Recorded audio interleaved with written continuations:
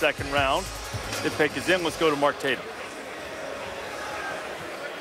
With the 38th pick in the 2015 NBA Draft, the Detroit Pistons select Darrun Hilliard from Villanova University.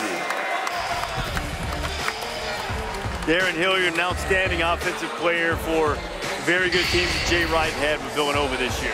You know, lefty, good shooter. Didn't shoot it particularly well in their NCAA tournament loss, but another guy with long arms and a high release. You know, 6'9 wingspan. Yeah, he wasn't asked to do too much at Villanova because they utilized a, a whole bunch of different guys. But when he is left open, he's got a nice stroke and he knocks shots down. Good player. I like it for Detroit. You can potentially play off guys like Brandon Jennings if they decide to keep him around, or Reggie Jackson has to make the team first, though. Darrun Hilliard, the 38th overall pick, the